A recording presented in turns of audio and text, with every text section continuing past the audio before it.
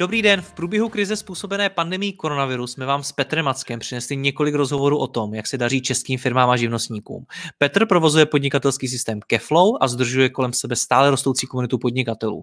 Dnes si budeme povídat o výsledcích jeho nejnovějšího průzkumu, ve kterém zjišťoval, jak firmy a živnostníci krizi zvládli a co jim COVID-19 dal nebo vzal. Petře, já tě vítám zpátky, ahoj. Jako ahoj. Než se dostaneme k samotným firmám a živnostníkům, začněme u tebe. Jak koronavir zasáhl Keflow a vůbec celé tvoje podnikání?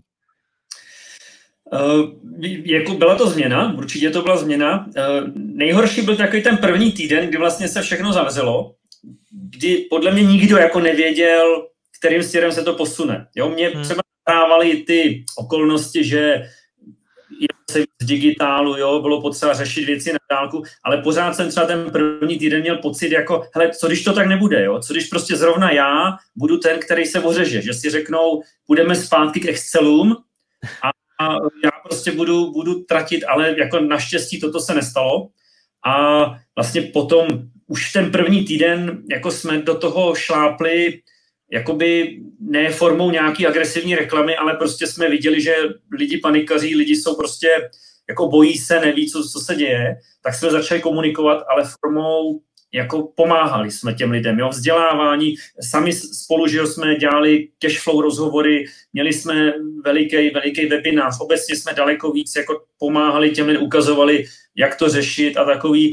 A vůbec jsme se vlastně nesoustředili na nějaký tvrdý prodej, a myslím si, že to se ukázalo jako dobře, jo? že já třeba jsem pozoroval, že spoustu firm jeli reklamu jako, hele, teď je krize, pojďte rychle k nám, my vám to dáme levnic, pak si ty o ty peníze řekneme na podzim. To já jsem vůbec nechtěl dělat. Já jsem vůbec jako nikomu nic nedal zadarmo. Když někdo mě třeba napsal, že má problémy, tak jsme se dohodli, ale vůbec jsem touhle cestou nechtěl jít, ale šel jsem cestou prostě vzdělávání, pomáhání, asistence, být vidět. Ukázalo se to jako, jako strašně dobrý krok, jo, že, že vlastně e, po té panice toho prvního týdne, tak vlastně žádný propad nenastal, byl takový jako postupný jako vzestup. A teď, když jsem se díval na čísla, tak vlastně duben, březen byl takový postupný, duben byl jako fakt jako dobrý. A květen vypadá, že je prostě historicky nejlepší, co jsme kdy měli takže si myslím, že je to kombinace situace, že prostě opravdu lidi jdou do digitálu, lidi spolupracují na dálku, lidi začínají řešit cash flow, to je naše že jakoby priori, prémiová funkce, ale zároveň jako jsme byli vidět a, a byli jsme viděni agresivně. A to, takže za mě, za mě vlastně nám to, nám to pomohlo. Nám to pomohlo. Takže cítíš to, že mm, eh, to ty firmy přimělo víc řešit, eh, řekněme, právě řízení financí a projektů, což je jakási doména Keflow? Eh, ur, určitě. Ta, ta, to, to řízení peněz, to, to je číslo jedna. To opravdu vidíme jako vzestup firm, který k nám jdou řešit vlastně firemní finance, projektové finance, protože to, to je vlastně, my jsme, my jsme, my o tom vzděláváme dva roky, že je potřeba tohle téma řešit a firmy to u nás řeší, ale teď ten zestup byl vyloženě znatelný. No a samozřejmě potom řízení těch zakázek, projektů, task management určitě taky. Eh, tady spíš jako vidíme, že tady těch nástrojů je milion. My vidíme, že k nám chodí firmy, které to chtějí řešit z pohledu jako výkonu ekonomiky. Jo. Není to o tom očkrtat si checklist nějaký, že mám čtyři úkoly zpět hotový, ale jak si držím rozpočty, eh, jestli moc neutrácím, jestli mi to vydělává, kolik to vydělá. Takže tyhle lidi u nás vidíme, ne ten takový, ten, teď nechci nikoho urazit, ten primitivní task management, ale ten sofistikovaný project management, kde řešíš výkon, ekonomiku, tak takové firmy u nás vidíme. Hmm. Posunulo vás to někam produktově? Já, já sleduju víc uh, startupů, řekněme, právě firm, který vyvíjí takovýhle nějaký produkt a u některých vidím poměrně významný hm, posuny v, v tom vývoji produktu. Jak ten produkt má vypadat? Uh, u nás uh, my máme nějaký koncept. Jo, já jako Kaflow, jak jsem říkal, není task management, je to vlastně jakoby dneska systém na řízení ekonomiky, výkonu firm, týmu, projektů a to je prostě linie, kterou jedu dál, ale eh, co se stalo je, že, že, že nás to přimělo třeba urychlit některé věci. Jo? Přidali jsme funkce na manažerský vlastně přehledy, na ekonomiku vlastně týmu, eh, vytížení týmu, který byli třeba, přišli by možná za tři, za čtyři měsíce a my jsme jako zjistili, že vlastně teďka to je to, co ty firmy řeší. Jo, ty peníze, výkon, to vytížení, takže jsme to urychlili. Vlastně jedinou věc navíc, která nás jako, kterou jsme udělali, kterou jsme původně vůbec neplánovali, bylo, bylo vlastně videokonferenční řešení, že pro firmy, které třeba jakoby nepoužívají Zoom, nepoužívají Google Meet, eh, WebEx a takové věci, nepotřebují takové řešení, tak my jsme do Kaflow bezplatně dali, tomu říkáme Kaflow Meet, je to open source, který jsme si vlastně půjčili, trošku vohnuli. Eh, bylo to rychlé řešení, ale pro takový schůzkování týmu o třech, o čtyřech lidech úplně dostačující, tak to bylo vlastně jediný, kde jsme ten systém vohli trošku jinam, než bychom chtěli. A přemýšlíme ještě o, my máme chat v Kaflow, ale to je takový jako základní chat, opravdu jenom si vyměnit pár zpráv. A ve, ve stejným stylu, jako je ten Kaflow Meet, chceme vlastně nabídnout všem našim uživatelům něco ve stylu Slacku, jo, že prostě máš Kaflow, ale prostě víme, že potřebujete chatovat, tak místo Skypeu tady máš prostě nějaký Kaflow chat, takže to je, to je, to je něco, co nás, co děláme, aniž bychom to plánovali ještě před třema, čtyřma měsícema, hmm. Jinak jedeme tu svou linii, výkon, ekonomika, odlišit se vlastně od těch jednodušších systémů, který řeší jenom to zaškrtávání. Mně se na tobě líbí to, že ty hodně s těmi firmami mluvíš, hodně se mezi nimi pohybuje, zjišťuješ ještě nové informace. Uh, konec konců o tom my točíme ty rozhovory. Teď si vytvořil nový průzkum. Koho si do něj zapojil? Oslovil jsem firmy, které v Kaflow už jsou nějakou dobu. Jo, udělal jsem si vlastně filtr na to, že ty firmy u nás jsou třeba já nevím, minimálně půl roku, aby, aby to prostě byla ta naše jakoby core audience. Uh, firmy, které používají aktivně Kaflow, jsou to platící zákazníci. A uh, po, zeptal jsem se jich uh, vlastně, jaký dopad na ně ta krize měla, ale jako zeptal jsem se vlastně, dopad měla na všechny, ale zeptal jsem se i vlastně na tu otázku jednak nejenom, co vám vlastně ta krize vzala, ale i co vám dala. A vlastně vzešlo z toho, že, že celkem pěkný číslo firmy odpovědělo. A, a jako zajímavé je, že ten profil vlastně těch, co mi odpovědí, odpovídá úplně přesně profilu zákazníků Kaflow. Jo, že je to, řekněme, 30% freelanceri, 70% firmy, 20% eh, nebo 25% marketing, 20% IT, eh, skoro 30% vlastně projektanti, architekti, a ten zbytek nějakých 25% je taková ta všeho chuť.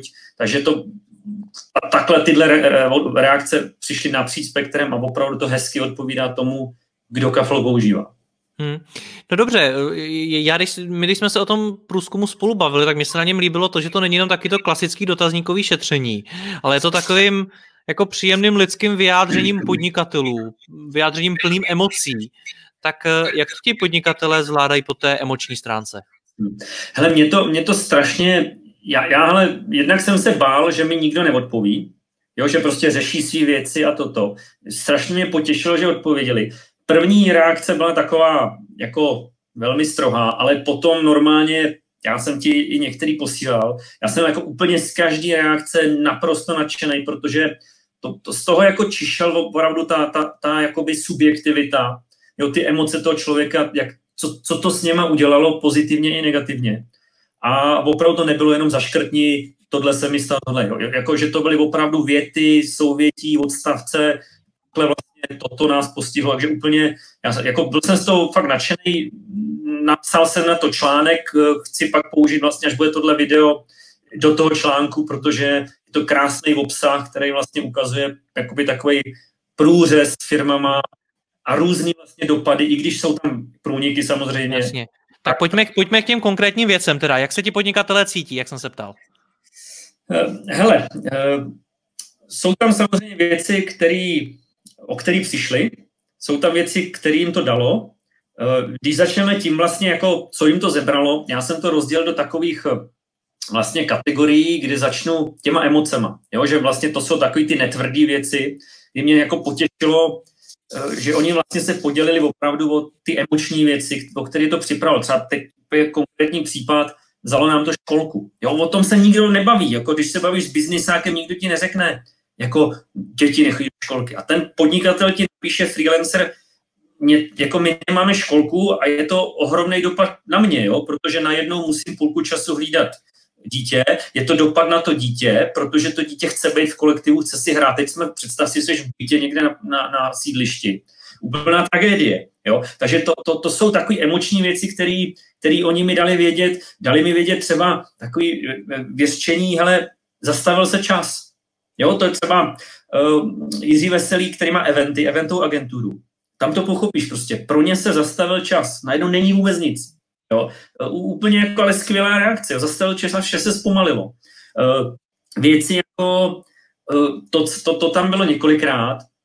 Role státu. Jo, to je prostě, jako je, nikdy to není černobílý, ale to se tam opakovalo. Ztratili jsme iluze o roli státu, že, ro, že stát tady je pro nás a ne my pro něj. A co třeba pan, pan Picnos napsal, stavař, jo, projektant, že i na těch nižších úrovních ty úředníci prostě fungují tak, že my jsme jeho podaní a, ne naopak. Jo, že prostě Jo, je to, je to smutný. Víš co, jako když to sleduješ, samozřejmě ten stát je to velká změna, ale prostě čekáš nějakou pomoc, čekáš nějaký asistence. Strašně dlouho se nic nedělo, strašně dlouho se jenom o něčem mluvilo, než něco bylo.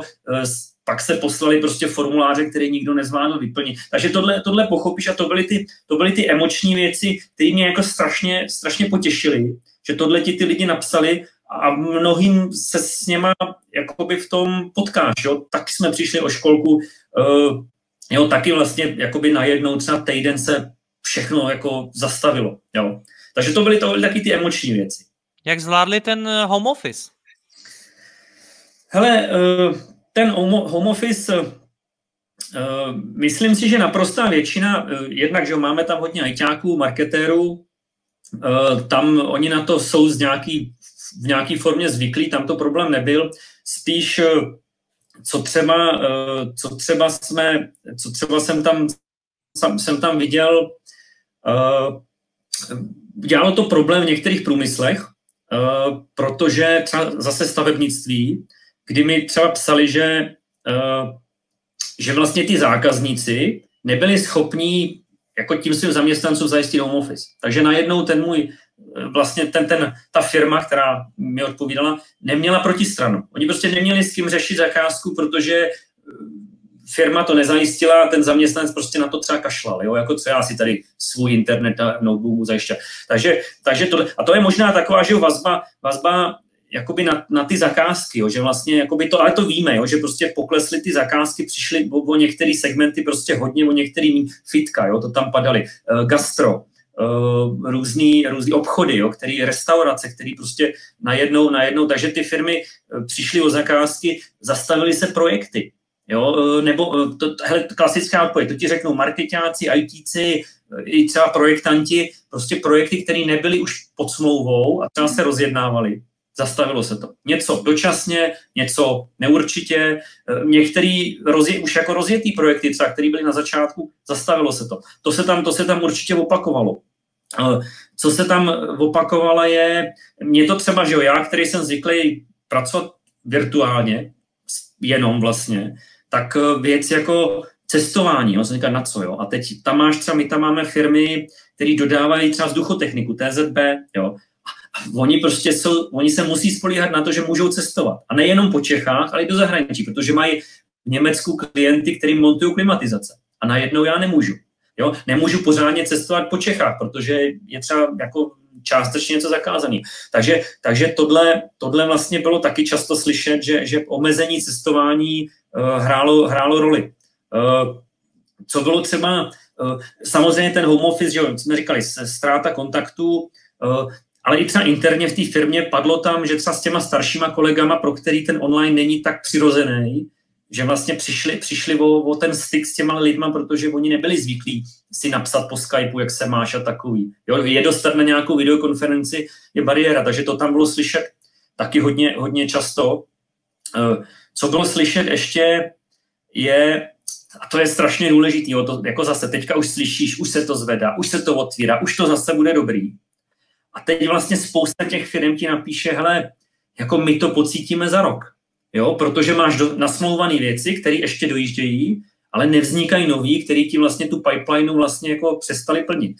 Já třeba, že jo, máme tam ty stavaře, tam je to typický, bude se mín stavět. Jo, bude se mín stavět a, a teďka něco dobíhá, ještě je to dobrý, ale my nebudeme mít práci za rok, nebo jí bude prostě o třetinu nebo polovinu míň. Jo, to, to si myslím, že tam padalo celkem často, uh, že vlastně jako ten dopad bude prostě mít setrvačnost a, a ne, nebuďme předčasně nadšení, že se otvírají ty restrikce a tak. Já tomu rozumím třeba u těch stavařů a podobně, ale vnímáš podobný názor i třeba v těch marketingových profesích, že to nejhorší teprve přijde? Já si myslím, že, že mnohdy ano, eh, protože ty firmy začnou jakoby zvažovat, do čeho třeba ty peníze dají. No dneska, hele, uh, už jsme to několikrát v rozhovorech řekli, byly ty marketingové žně, kdy prostě se sypaly peníze do marketingu, všichni měli práci.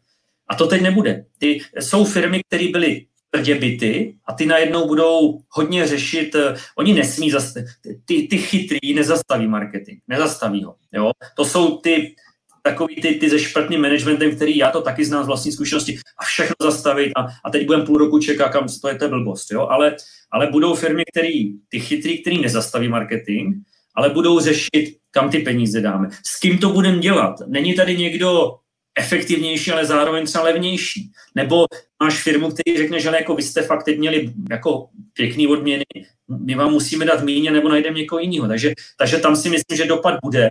Bude dopad, opravdu si budou firmy přemýšlet do kterých produktů, kolik dají, do jakých kanálů. Spousta marketing věcí se přesune jinam, do jiných prostě taktik.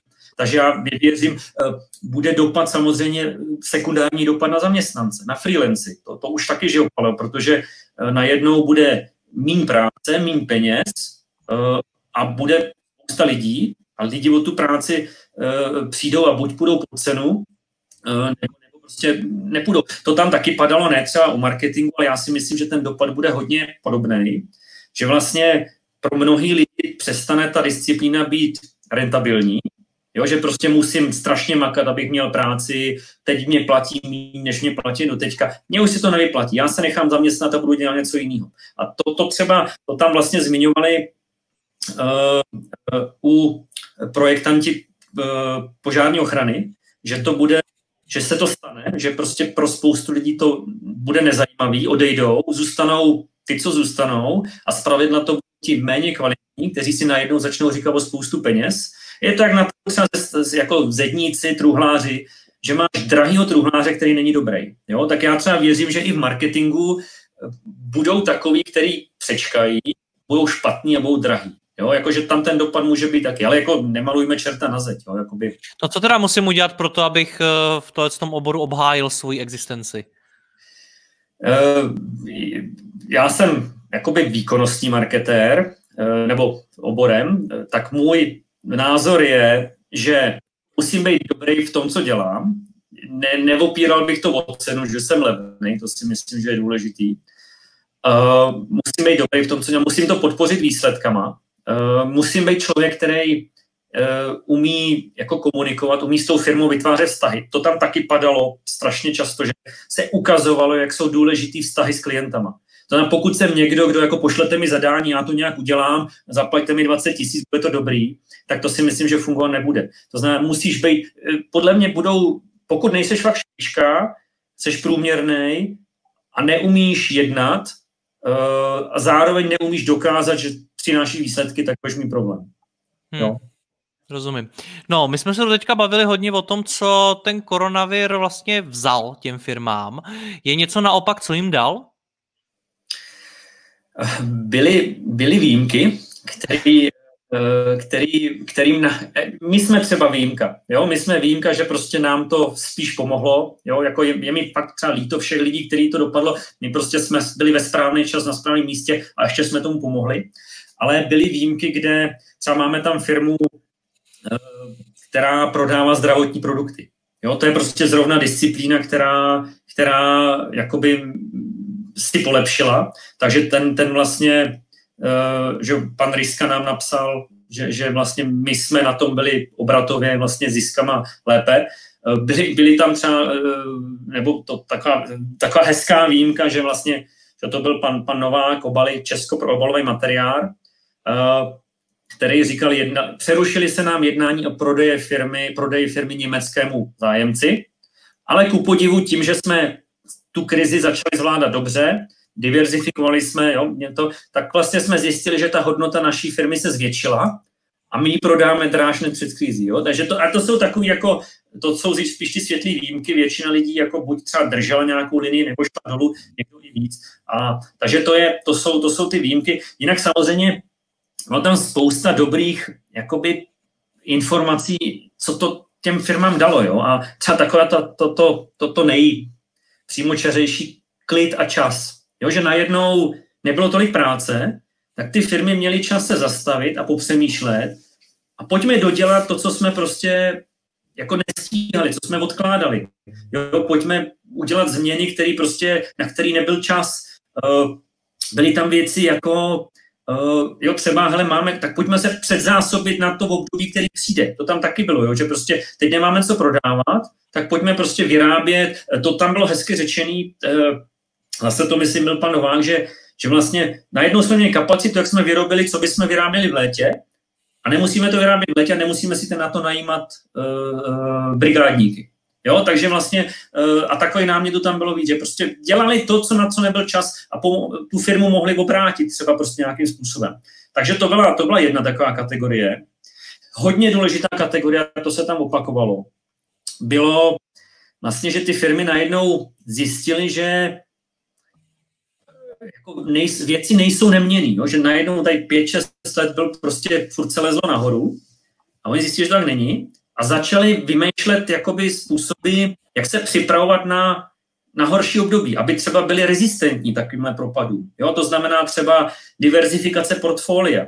Jo, že prostě, tak pojďme prostě nabízet produkty napříč spektrem, aby když vypadne segment jeden, tak furt jede druhý. Takže to tam bylo hodně častý, že vlastně řeší, řeší uh, nějaké takovéhle věci, nebo i třeba jak tu firmu ujistit, aby třeba nebyla drahá, aby prostě věci, co byly zbytečné, tak se jich zbavíme, pojďme ji prostě udělat lehčí.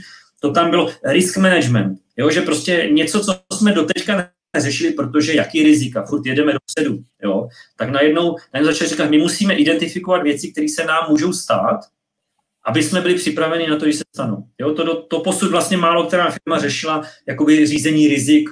Uh, to. Takže to, to bylo to bylo vlastně takový opatření pro budoucnost a to se mi strašně líbí, že prostě najednou přemýšlí, hele, kdyby se to stalo příště, my budeme připraveni. Jo?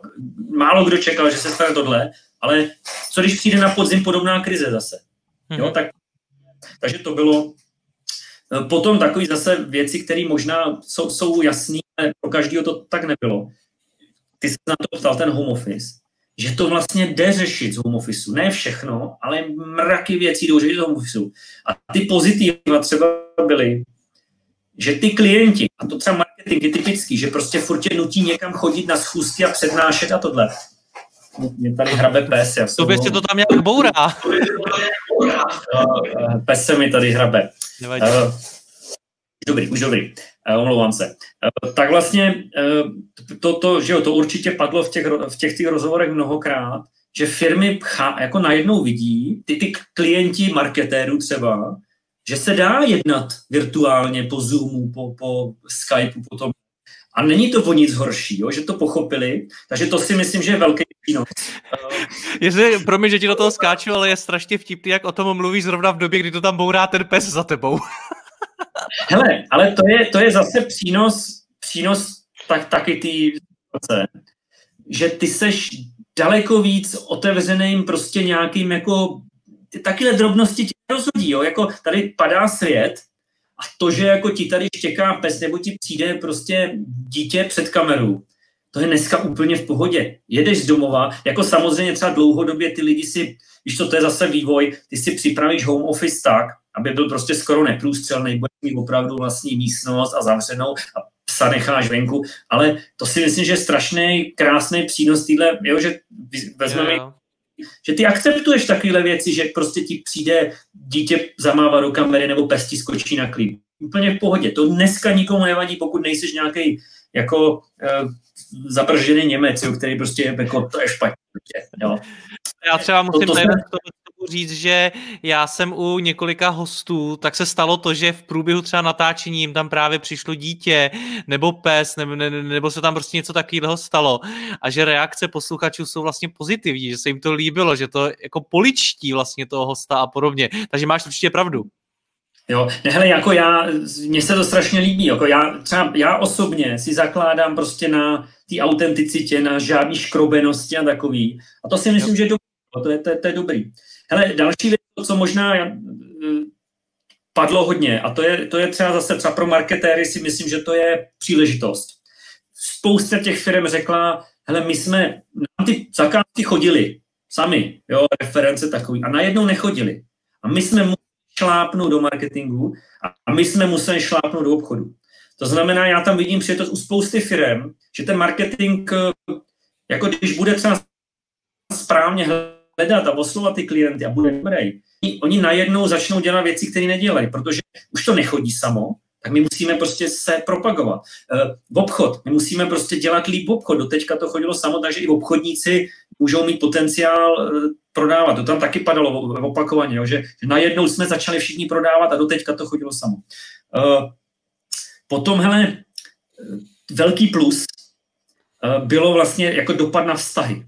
Jo? On tam je, je tam jako i ta negativní eh, část, eh, že, že to vlastně ty vztahy prověřilo a ne vždycky v tom dobrým.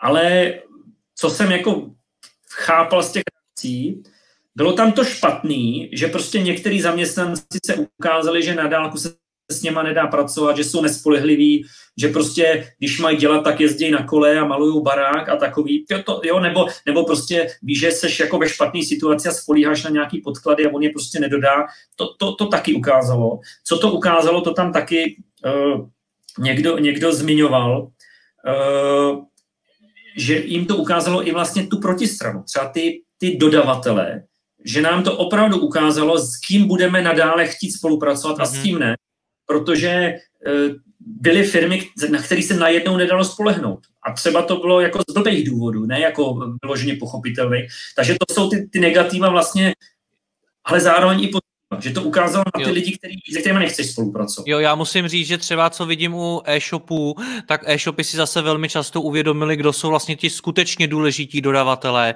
a kteří, který svým způsobem jako můžou obětovat.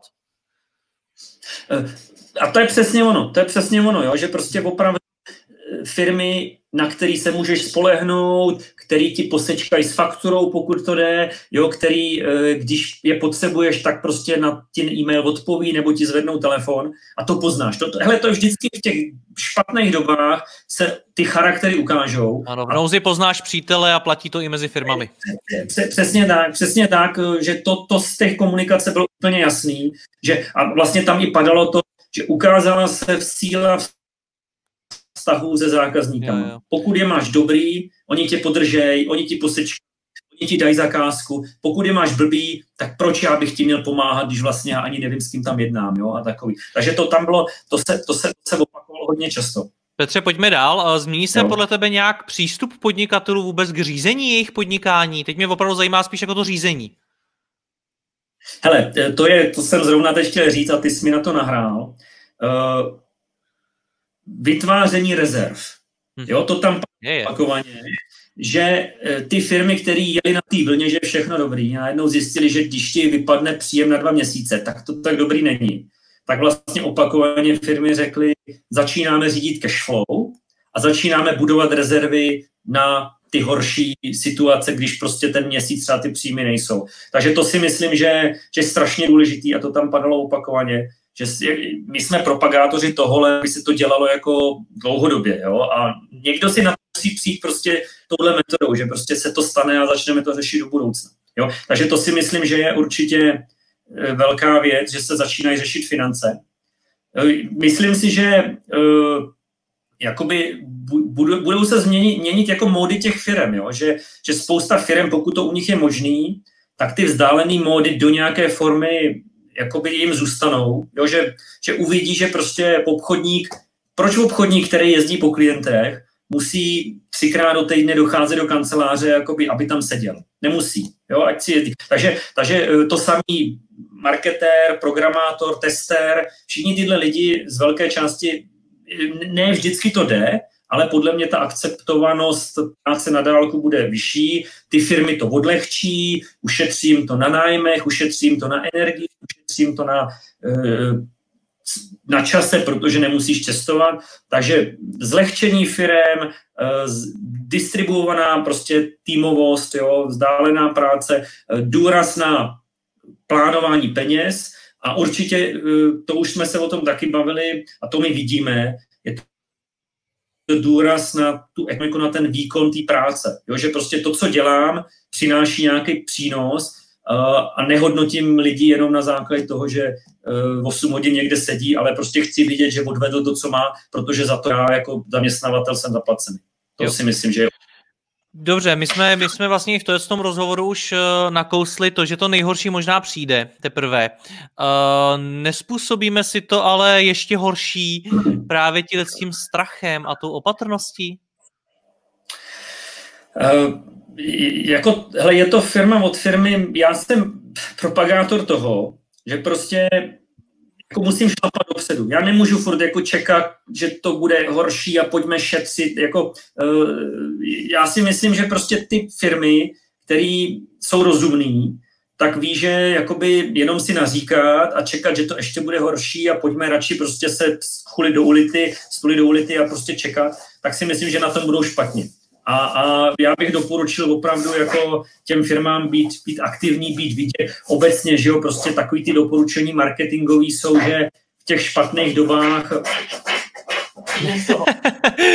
Zdravíme Pejska. Že, že, pardon, že v, těch dobách, že v těch dobách zlých právě je důležitý být vidět, ono to vyjde levněji, máš větší podíl toho hlasu, takže uh, já jsem za to, aby, aby prostě jsme nezalejzali do OLED, aby jsme hledali, uh, víš co, můžeš hledat nový kanály, nové metody propagace, uh, nový produkty, který prostě doteďka neřešil, ale, ale nesmíme se zastavit. Jo? To, to prostě to je cesta do pekel a čekat na to, že to bude horší. Ono možná bude, ale taky to třeba nebude. A ty, co, ty, co do toho budou šlapat, ty budou mít náskok. Takže já myslím, že toto je jako dobrý přístup. Šlapat do toho rozumně samozřejmě, neutrácet, kde to jde, ale, ale rozumně a ne, ne, někde nestočit se do ulity a nečekat, že prostě až přejde nějaká bouře. Souhlasím. Petře, já ti moc děkuji za rozhovor, ať se tobě i Pejskovi daří. Ahoj. Ale Jirko, Jirko, díky taky moc a omlouvám se za ty ruchy. Vůbec nevadí. Ahoj.